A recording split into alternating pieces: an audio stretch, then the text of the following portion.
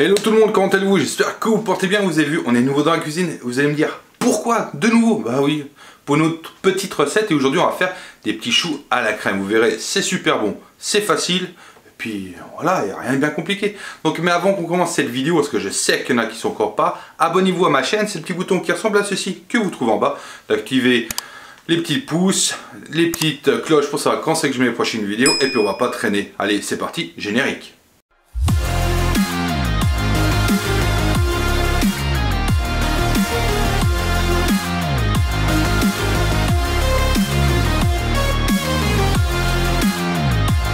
Bon allez, c'est parti. Pour faire cette recette, il n'y a pas besoin de 36 000 trucs. Nous avons besoin déjà de 90 g de beurre. Voilà. On a besoin de 180 g de farine. Une grosse cuillère à soupe de sucre. On a besoin de 3 décidus 30 centilitres d'eau, comme vous voulez. Une petite pincée de sel. Et on a besoin aussi de 5 œufs. Donc bah, ce qu'on va faire, c'est qu'on va commencer à réaliser cette pâte. Bon, alors, premièrement, on va déjà allumer notre petite plaque. Voilà. Donc, on s'en pas. Hein. Tout va dedans. L'eau. Enfin, tout. Presque tout. Vous mettez les 3 décis d'eau dedans. Vous rajoutez votre beurre dedans. Hop. Voilà.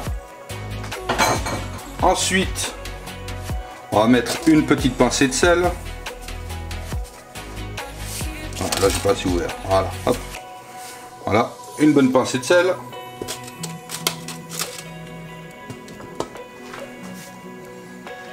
Et puis, votre sucre.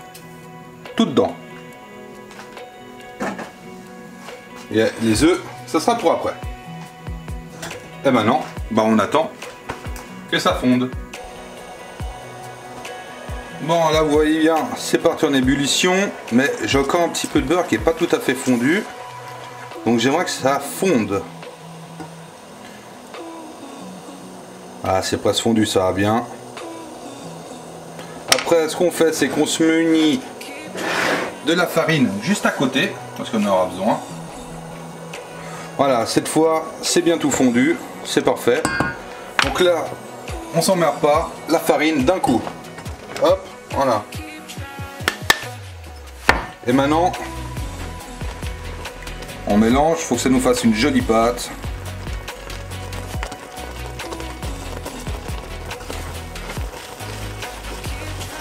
faut bien mélanger. Hop.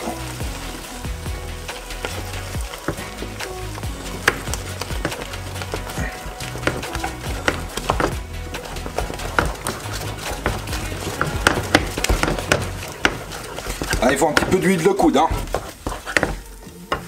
Et voilà, là, la pâte, elle est nickel. Maintenant, ce qu'on fait, c'est qu'on la laisse sur notre feu. Voilà. Et vous voyez, au fond, ça fait comme une euh, couche blanche.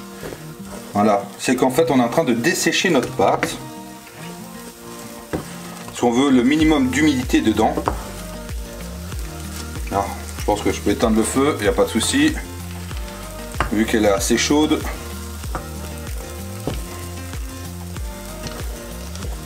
Il n'y a pas besoin de 10 minutes, hein, juste un petit peu, on va juste... C'est juste pour qu'elle... Euh, on enlève un peu l'humidité. Par contre, faut pas arrêter de remuer parce qu'il faut pas qu'on crame notre pâte. Hein.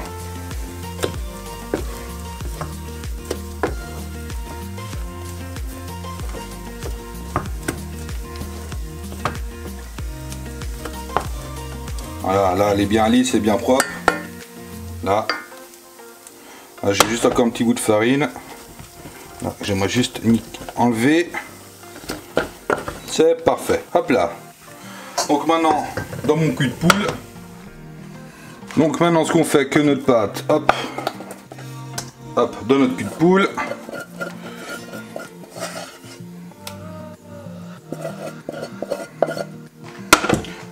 On va juste la détendre un petit peu.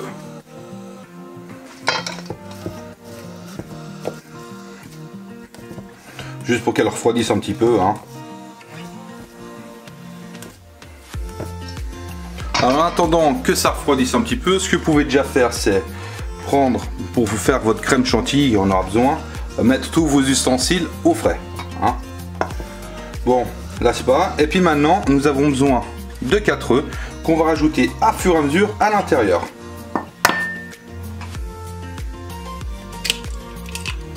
Hop. Et on en fait bien, c'est un par an. Hein. Au début, vous verrez, ça va pas se mélanger. Voilà. Mais il faut bien quand même qu'on mélange parce qu'il faut pas que notre, euh, notre œuf cuise. Vous verrez, un. C'est un peu le bordel au début. Mais ça va vite s'agglomérer, vous verrez. Voilà, là. Je sens que ça commence. Voilà. Maintenant, on va rajouter le second.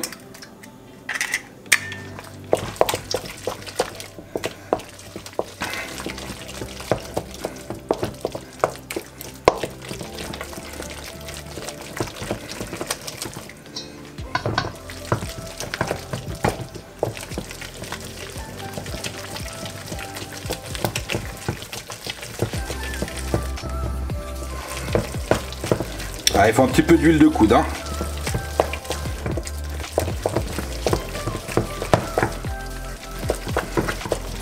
Voilà, ça recommence à refaire une pâte. Hop. Le troisième.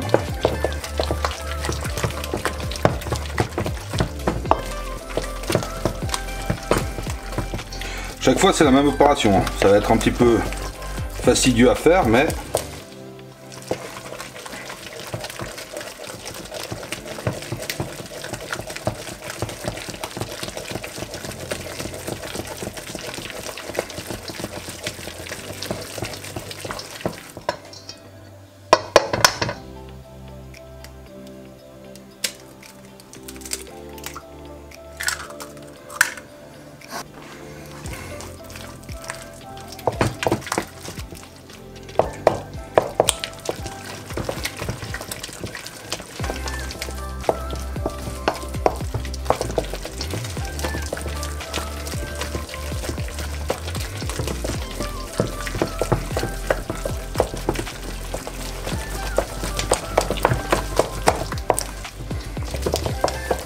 on y arrive, on est bientôt au bout.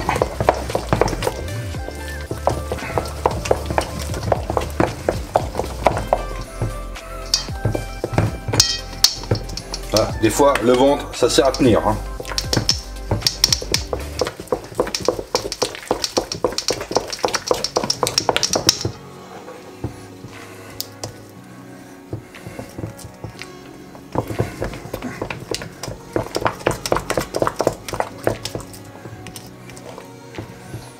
Juste prendre, hop là, une petite marise. Là, moi, comme ça, je veux bien aller sur les bords, tout, tout rechercher.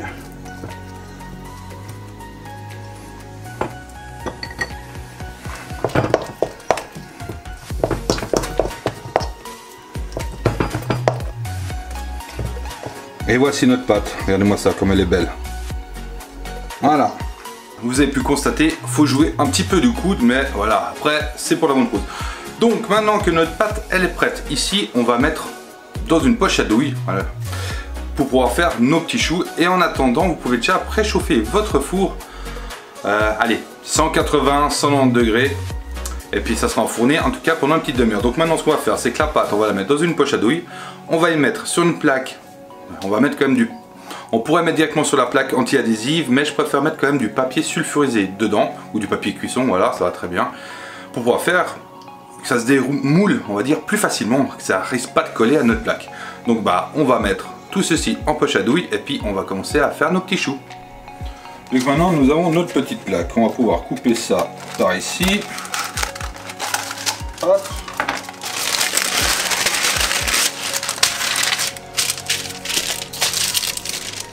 Et voici, c'est déjà pas mal. Allez, comme ça.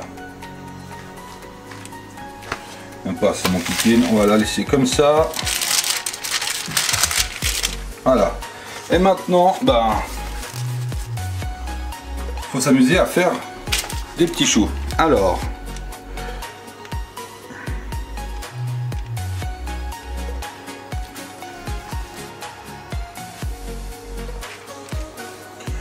Voilà, ils sont pas trop mal. Ils font à peu près 4-5 cm de diamètre, c'est pas mal.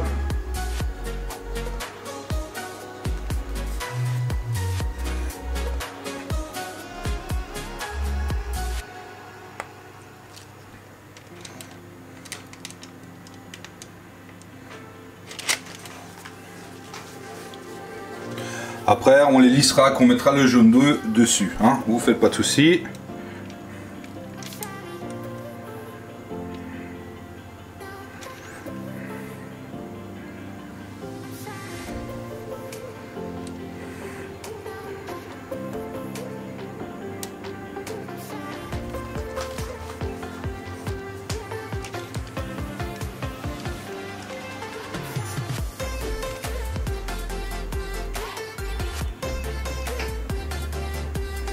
Enfin, vous avez compris le principe, donc maintenant, on va faire partout sur la...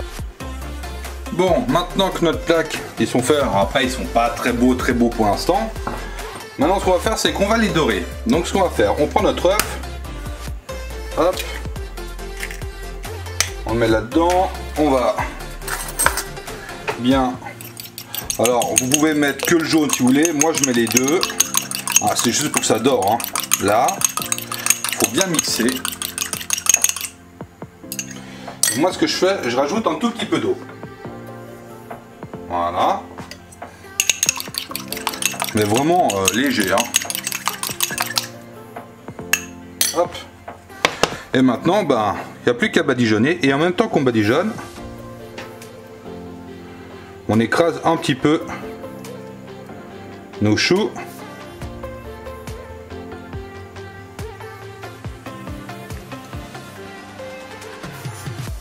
Comme ça, ils prendront une forme un petit peu plus sympa. Enfin, on écrase, c'est surtout pour écraser la pointe. Hein. Après, moi je les ai fait en serpentin, là, comme vous pouvez les voir. Si vous voulez y faire euh, tout droit plat, vous pouvez. Hein, Chacun fait comme il le veut, comme il le sent. Après, si vous voulez, vous pouvez aussi faire une base de craquelin dessus. Moi, j'ai pas fait parce que je trouve que ça apporte pas grand chose, grand chose.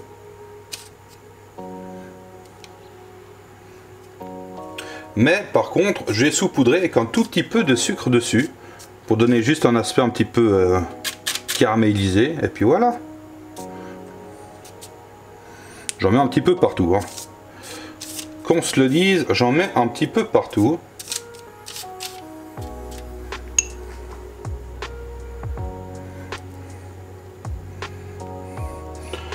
Vous me dites, ah ça fait pas beaucoup. Alors là, ça c'est juste la première plaque, hein, parce que j'en ai fait une deuxième. Alors là, hop, ça ceci.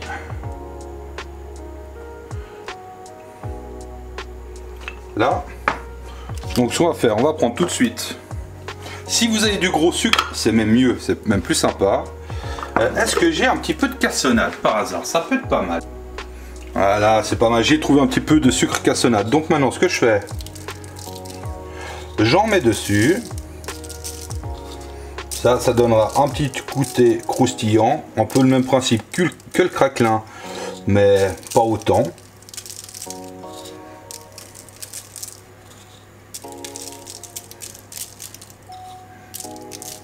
Hop. Donc maintenant, vu que ça c'est prêt, et ça part au four pendant minimum 25 minutes à 30 minutes. Allez, c'est parti. Bon, maintenant on va s'attaquer pendant que nos petits euh, choux cuisent. On va s'attaquer à la crème chantilly. Crème chantilly, sucrée et vanillée. Donc déjà, on a tous ces ustensiles qui ont été au froid. Voilà. Comme ça, ils sont bien froids. Ce sera plus facile pour monter notre crème. Donc déjà, on fait ceci. Là, vous avez besoin de 5 décis de crème fraîche. 35 euh, 35% de matière grasse minimum. Hein Donc maintenant, on se plaisir, on y va. Hop, hop, hop, hop, hop. Voilà. Hop. Là, on a tout dedans. On va comme... Je pense qu'il n'y a pas plus. Hein non, on, a, on est à fond. Et on va aussi s'occuper de notre gousse de vanille. Voilà. Alors, ce qu'on va faire, on va déjà la fondre en deux. Hop. On va récupérer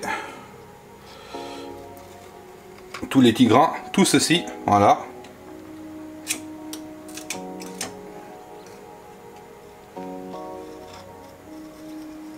Voilà. Hop.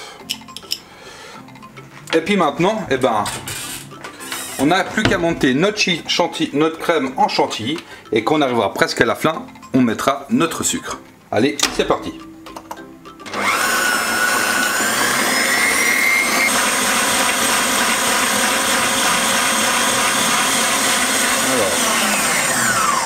On va arrêter pour regarder. Qu'est-ce qu'elle dit? C'est pas mal. Elle tient vraiment pas mal. Hein. On va déjà juste goûter comme ça.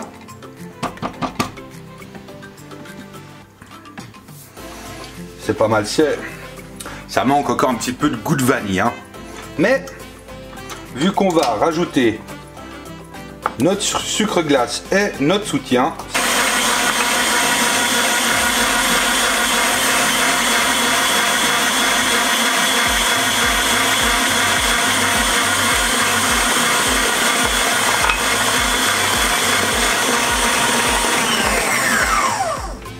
Voilà.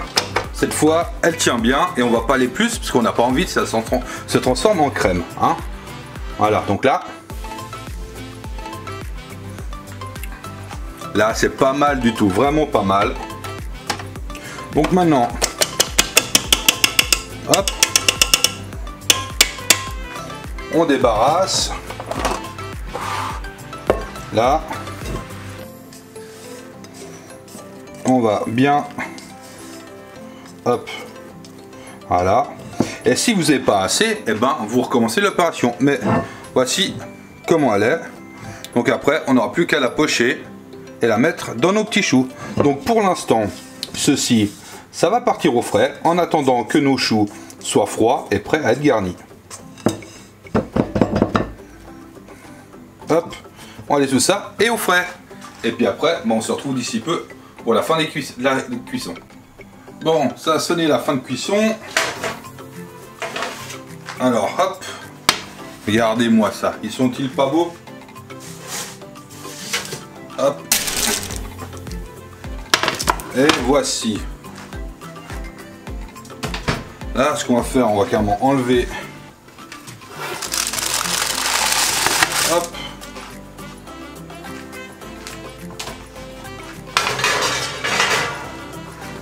Ça aussi.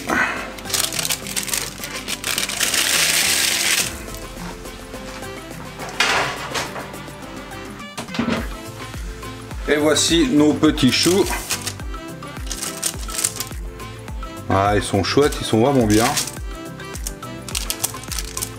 Maintenant, ce qu'on va faire, on va les laisser refroidir.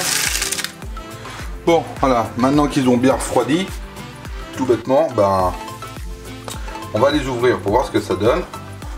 un petit couteau pointu et puis on coupe. Hein. On coupe le chapeau. voilà, ils sont bien creux, on pourra les farcir, c'est nickel. Bon bah je vais couper tout ça et puis on se retrouve tout à l'heure, euh, d'ici peu, pour les farcir. Hein. Allez, c'est parti. On coupe. Bon, maintenant que c'est tout près découpé, maintenant il nous reste de nouveau bah, à farcir euh, nos petits. Donc on reprend la poche à douille. On va pas prendre la ronde, on va prendre la canne, la cannelée, c'est toujours mieux. on va retourner ça pour y mettre du bon sens.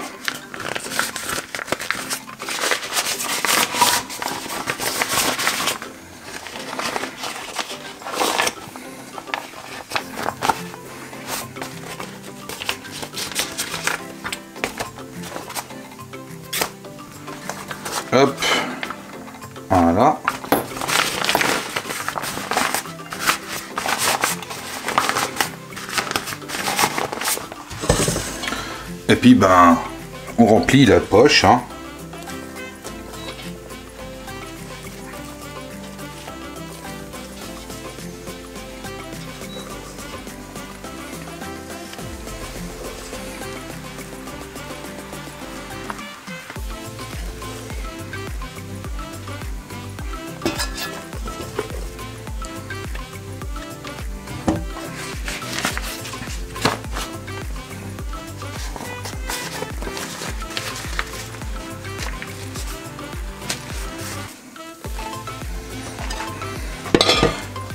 C'est parti.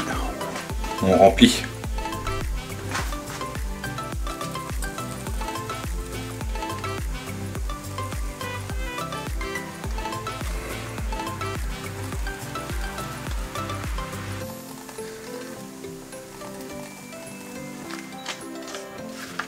Ça a l'air d'être pas trop mal, hein Voilà. Et maintenant, tout bêtement, et eh ben, on remet les petits capots, hein.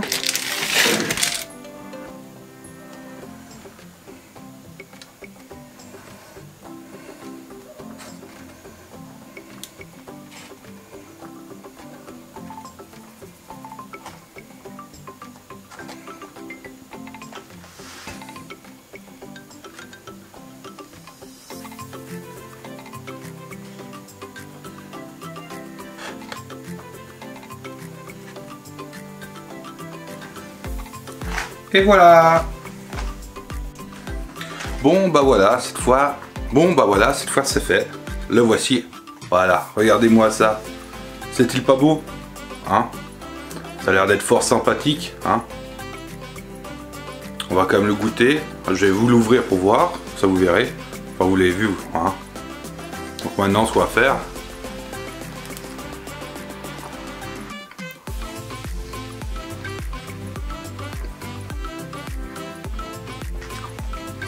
c'est léger, ça y rien, c'est super bon.